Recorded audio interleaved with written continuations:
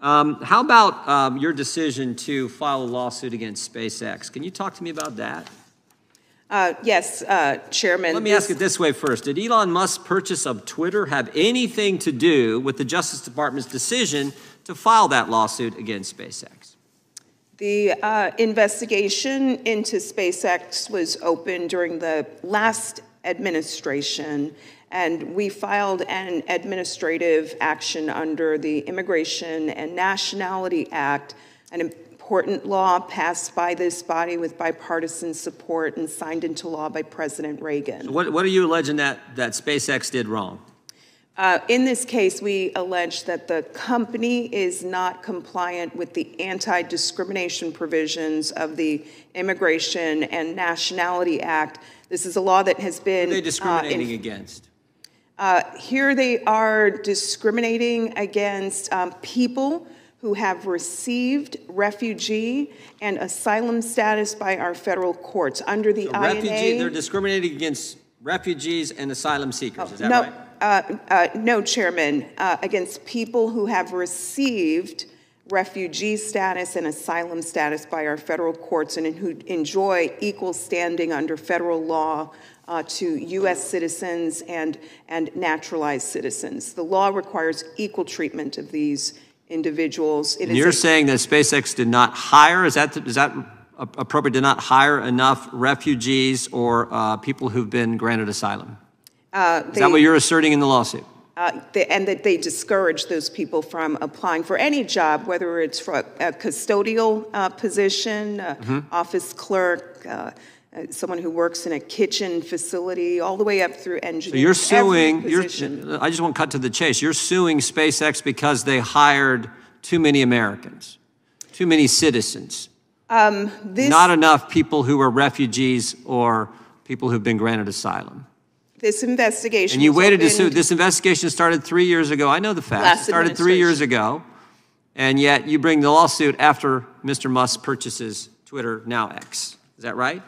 Uh, We apply the laws that this body gave us without fear or favor. And, and, and Mr. uh, Musk, his assertion is that they're dealing with national security type information at SpaceX, and that's why he's even posted this before you brought the lawsuit. He said this. That's why they focus on hiring people who have a green card or are American citizens. And you guys say this is something we we need to go after SpaceX because they're not hiring enough Americans, and we need to charge Eva Edl, 87 year old concentration camp survivor, that's what the Justice Department and the Biden administration needs to do. But oh, by the way, we don't know anything about Missouri v. Biden. We didn't weigh in on the issue where a governor of a state told the citizens, they're American citizens, you cannot exercise your Second Amendment rights contrary to the law, contrary to what the Supreme Court has said.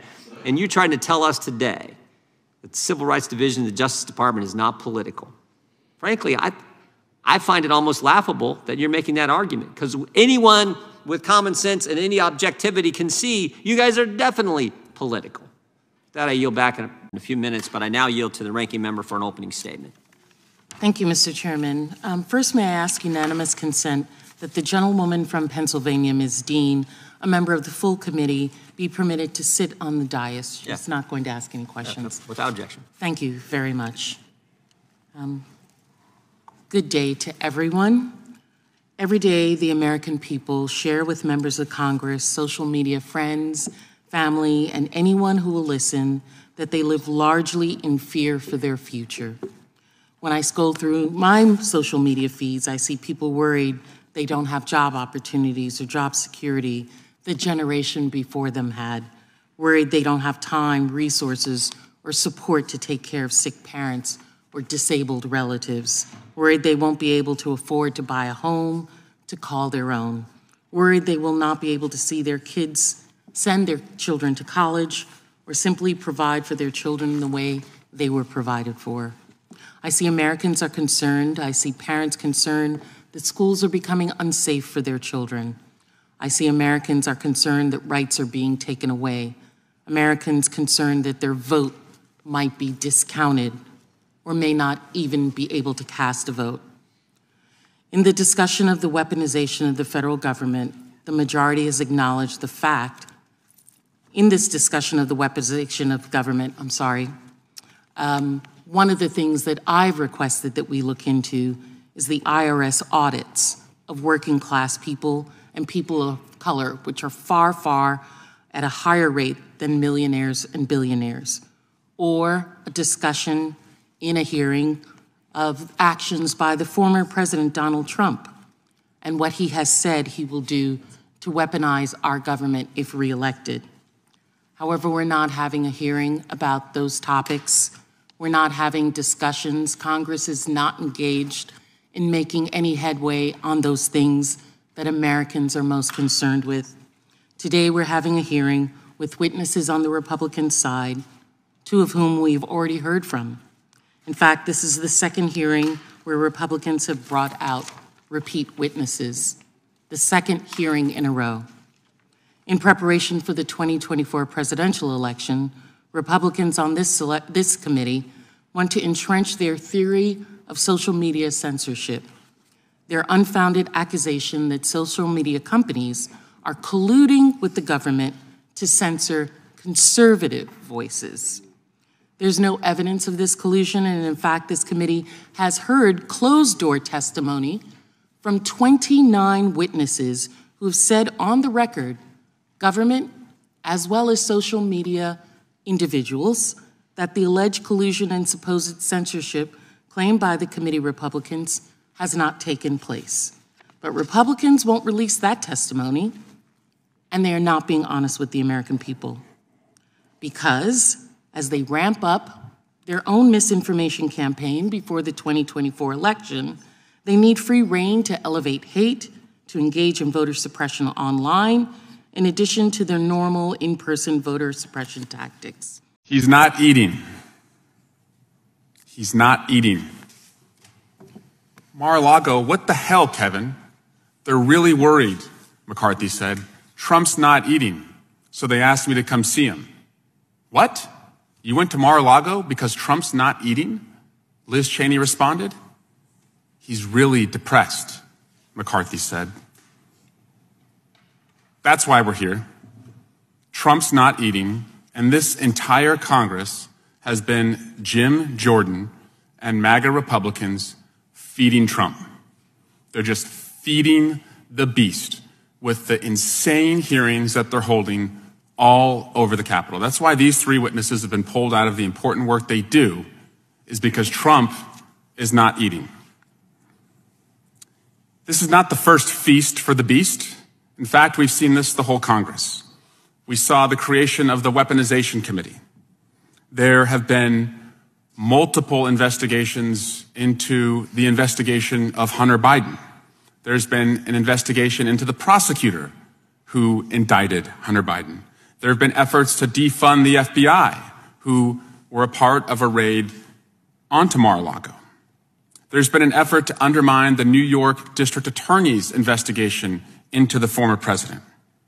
They brought in prosecutors who were a part of that investigation. There have been letters to Fani Willis in her January 6th investigation into the former president. So you're just here as a part of an effort to feed the beast. And Jim Jordan, who has assembled this hearing today, and the other MAGA Republicans are just working every day as Trump's chef. But this isn't Top Chef. This is the United States Congress. We were sent here to govern. We're not sent here to work every day on behalf of one person. He's not eating. And that's why you're here, to feed him.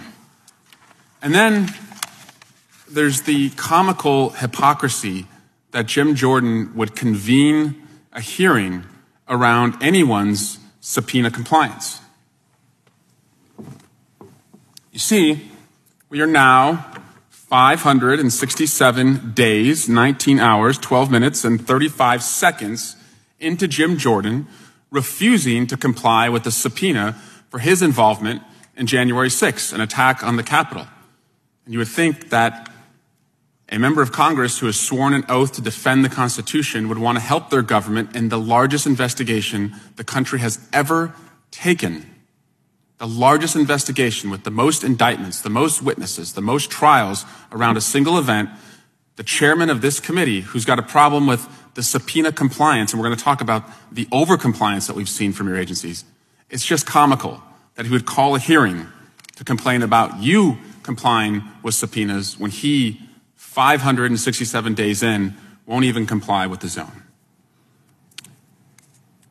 And these claims, it's clear that what Republicans want to do to impeach Joe Biden is not working. They can't draw the straight line between what they think Hunter Biden did and what they want Joe Biden to have done. They may prove at the end of this Congress that Hunter Biden is Joe Biden's son.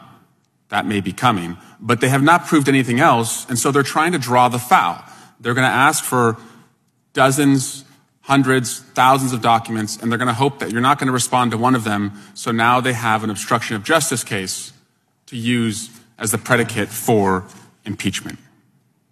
I also want to talk about the transcribed interviews because you all have sent to this committee 92 individuals to be a part of transcribed private interviews. Not for the public to observe, but 92 private transcribed interviews. Take a guess at how many of those interviews have resulted in a public hearing. It's zero. It is all theater. It is all to feed the beast because Donald Trump's not eating. So they have to haul these people in. They learn in private that there is no wrongdoing, and so we never hear about it in public. Finally, the center of so many of these investigations has been the current president's son. And you would think, after a year of hearings about the current president's son and the indictments against the current president's son and the prosecutors involved in the case of the current president's son and the private transcribed interviews around the current president's son, that you would see the Republicans bring in for a public hearing the president's son. And so what happened this week? The Republicans subpoena Hunter Biden. Hunter Biden says, Great, I'll come in, I'll testify publicly. And Jim Jordan and James Comer, they can't take yes for an answer. They don't want him to testify publicly. And it's for the same reason that the other 92 witnesses have never come in. It is all to just feed the beast, to keep Donald Trump happy. So, welcome to a post Thanksgiving meal to feed Donald Trump. And I introduce to you the chefs, led by top chef Jim Jordan and Chef Boy McCarthy, who went down to Mar a Lago in their effort to keep Donald Trump happy. I yield back. So, folks, what you just saw there was the slicing and dicing of Jim Jordan. And it really connects to his legal troubles because this man is going to be taken down by Capitol Hill police. It's already happened in my mind, at least, and probably in yours too, because he is complicit in old Donnie's crimes. And remember what um, MAGA Mike, the new speaker, said today that he wants to release all the info in the world about the J6 thing, but blur everyone's faces so that they can't be hit by the DOJ. And that's not really to protect the rank and file cronies. They don't really care about them. It's to protect the bigwigs like himself and Jim Jordan and everybody who played a part in the coup because the more webs that exist, the worse it gets. But you saw Jim absolutely storm out there and freak out as a Democrat and Biden officials, Democrats from all over, crushed him, and he deserves to be crushed.